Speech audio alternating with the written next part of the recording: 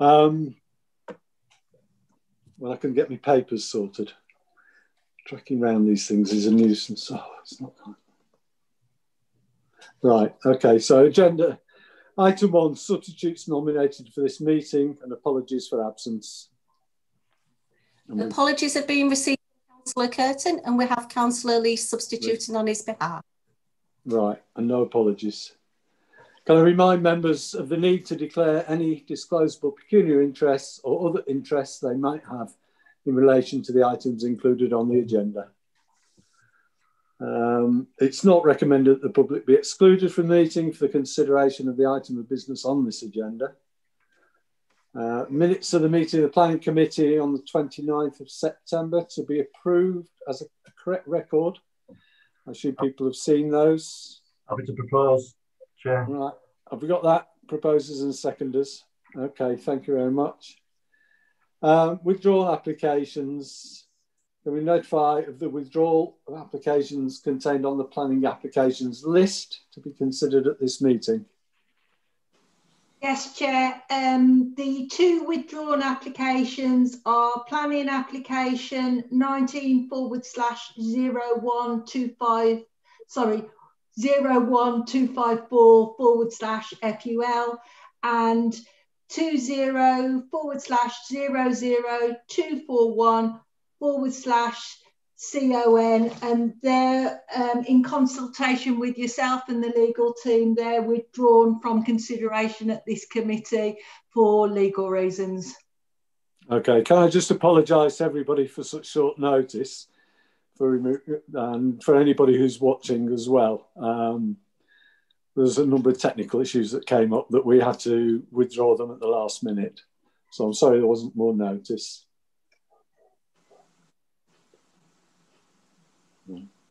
Um, we're going to actual, the only remaining planning application. Oh. I'm sorry, I can't work out how to use two different screens, one which is a contact one. Um, so the remaining application is 20008443 variation, uh, 27 Site Lane, Lightcliffe, Brighouse. Thank you. Can we have the present officer's presentation? Yes, Chair. If you just bear with me, I'll try and get to share it.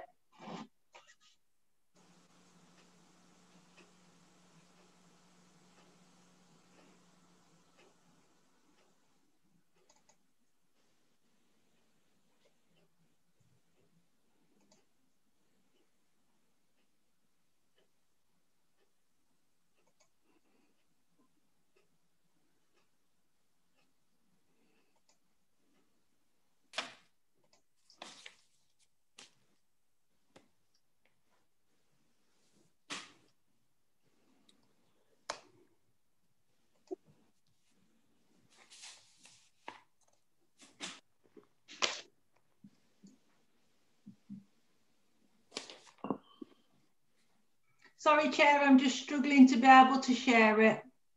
Okay.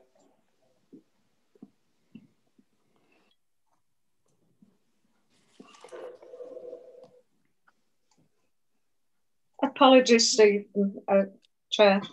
Yeah. Okay. I was having trouble getting in. right, we have, we're I only can't just hear starting. You.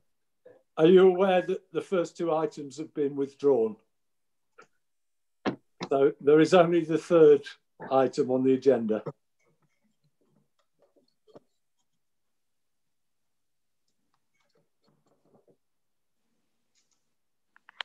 Uh, sorry, Chair, I'm still having problems being able to share.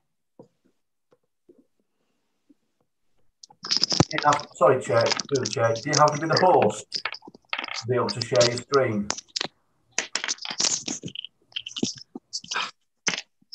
Maria, if it helps, would you like to send it through to me? Yeah, please, if, if I could. Thank you. It's just, oh, let me just try again. Let me try one more time if you don't mind.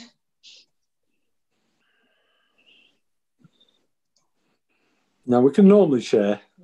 It normally works after a few glitches.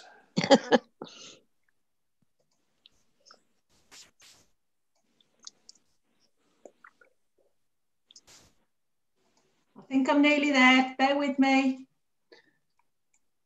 Oh, yeah. Yes. Okay, that's fine. Is that coming up clear now, Chair? Yes. Yes. Okay, thank you.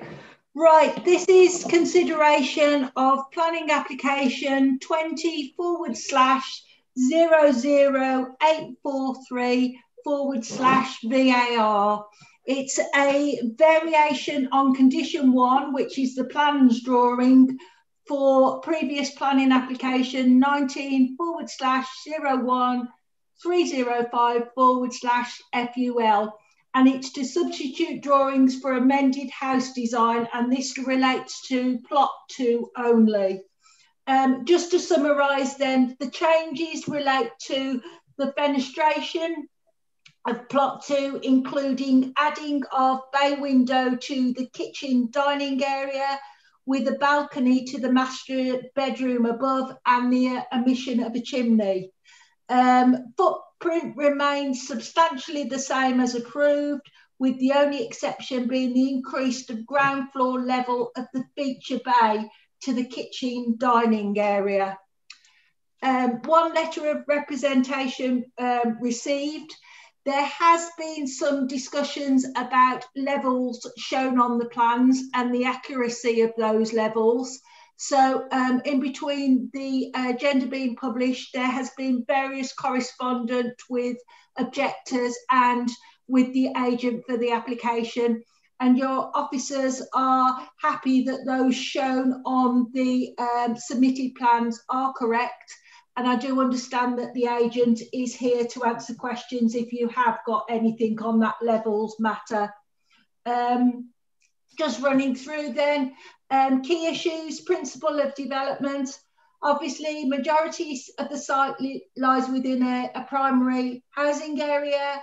The access is through Greenbelt land, um, but the principle was established through the previous approval um, of the 2019 scheme. Housing issues, you will be aware um, that we do not have a five-year housing land supply.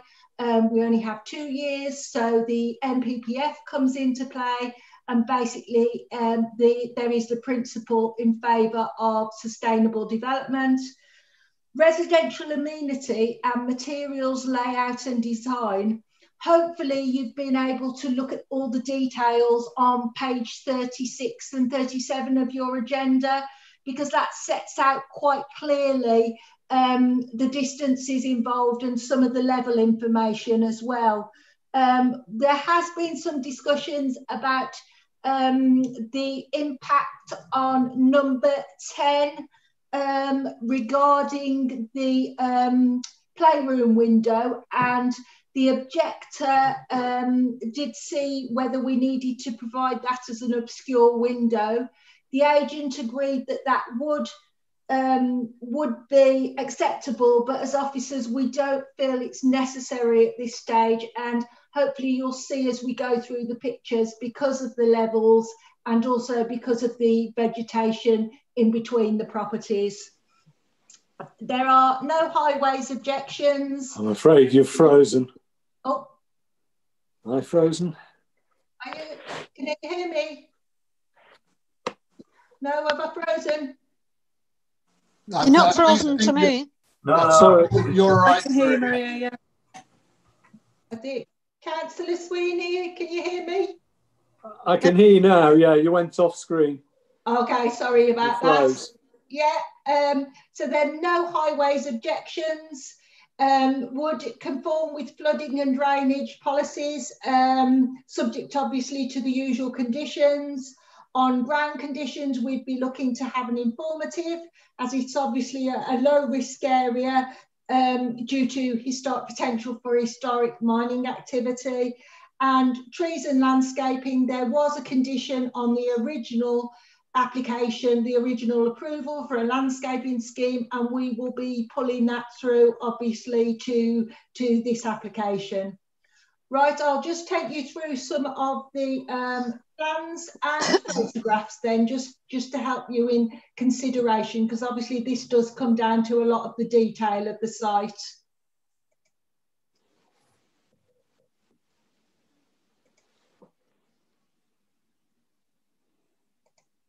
Can you still see that, members? Yeah. Yes. Right. Yes. So this got, is the got site. two of- slides on screen at the moment. So oh, you've got two, Yeah. you've got two slides up at the moment. right. Let me um. Let me go back. Um. We've got your view, whereas rather than the public one. That any better? Better, yeah. There. That's Yep. it. That's lovely. Thank you. Bear with me. I should need to do this more than every three weeks, I think, to get to, to know how to do it. Um, right. So this is the site which I think um, some members will be fairly familiar with because I know it's been the subject of a number of applications over the years. Um, an aerial photograph again showing you the site. And um, I'm sorry if you're not too clear, but basically these are the um, submitted plans in terms of changes. But as I've said to you, they are mainly to the fenestration relating to the addition of a bay window and a balcony, to a first floor um, bedroom. This again is the um, site plan, which shows, and you'll see the dotted line um, to the left hand side of the screen. That's plot two. That's the plot we're considering today. This is the obviously the the starts of the works for plot two, looking towards the southwest corner of the site. Um, retaining wall showing level difference with Bramley View. I referred to number 10, Bramley View, which is actually behind those trees um, in the top right hand corner. All the trees are to be retained view south towards 10, uh, 10 Bramley View and view west of the site. View north of the site.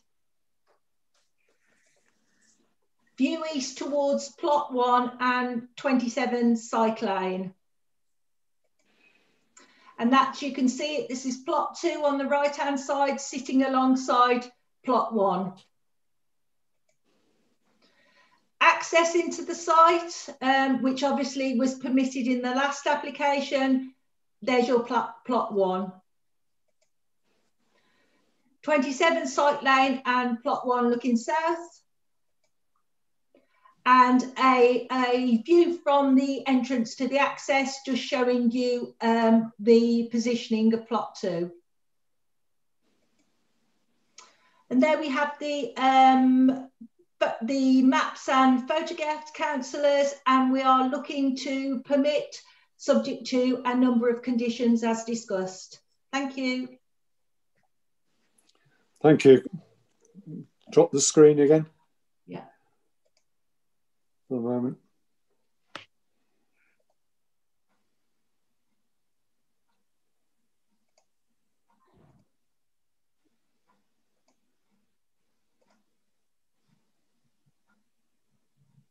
Can you get out of shared screen now Yeah. you're in? Oh, yeah. I've just done it, sorry. Okay, thank you. Members, any questions?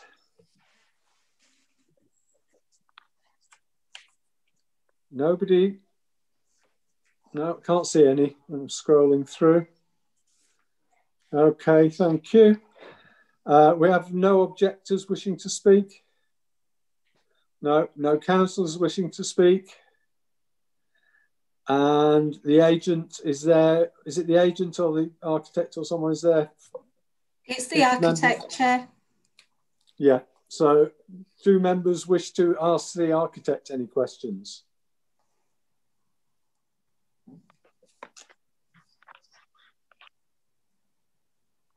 No, I can't see anybody. No.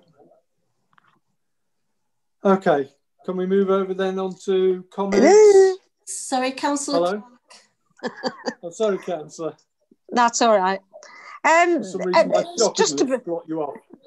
well, we can't see everyone, can we, at once? That's the problem No. with Zoom.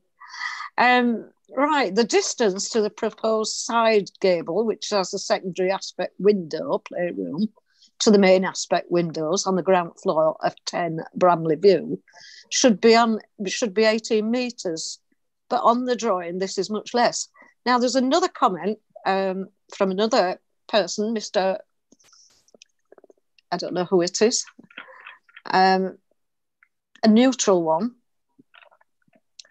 And that says that it's actually 18.9. So, do we have any confirmation on this, on these measurements?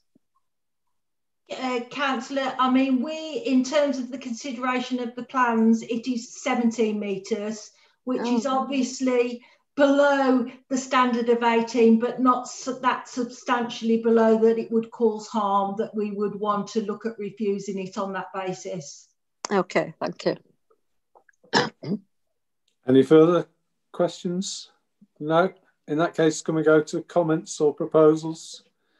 Councillor Bellinger. Thank you, Chair. Um, uh, we've followed this for quite a number of years now. I've seen this in front of us quite a number of times. Um, I'm happy with everything that I've seen today, and therefore I'm happy to propose that we'll go with officers' recommendations to uh, permit. Okay. Seconder or amendments? Councillor Baines. Um, yeah, I'm pleased to second that, uh, Chair. Okay.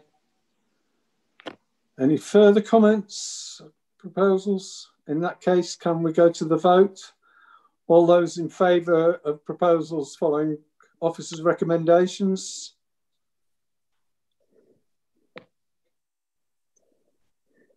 Okay, and I think that's unanimous as far as I can see. But any objections? Uh, uh, sorry, any votes against? No, and no abstentions. Okay, in that case, it goes with officers' recommendations, and that's the end of the plan committee.